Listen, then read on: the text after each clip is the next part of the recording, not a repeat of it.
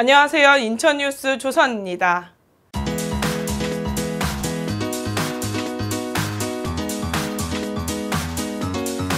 인천 수산업 경영인 대회가 개최되었습니다.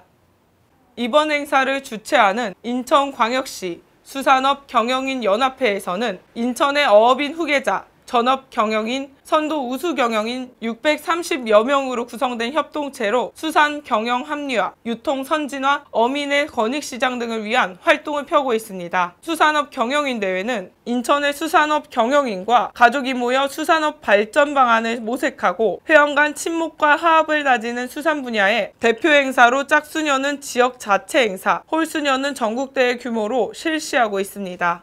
지금까지 인천뉴스 조선이었습니다.